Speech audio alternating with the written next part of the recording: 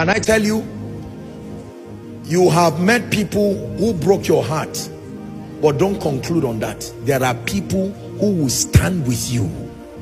There are people who will cry with you. Some of you have already been fortunate to find those people. Can I advise you? Swallow your pride and keep them. Don't ever open your mouth and say, I don't need you. Then you say sorry later on. Swallow your pride and keep them.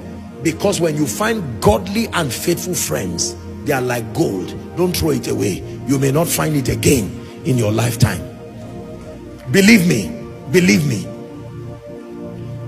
Great people are lonely at the top because they do not have anybody to talk to. They are afraid of talking to everybody because they are billionaires.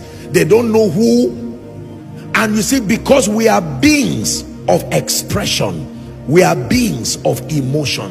One of the way they punish prisoners, some of the world's, you know, most notorious prisoners is to take them to a place where they incarcerate them and they have no they are not in touch with anybody.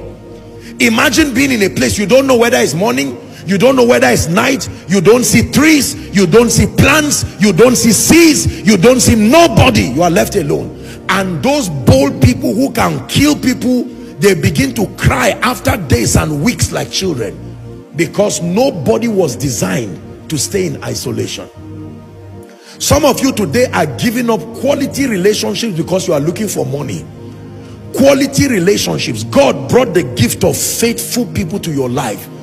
But you are throwing them away because the only person you are looking for is the person who can solve your problem. You will rise to the top and find out that it's a lonely place full of deceivers.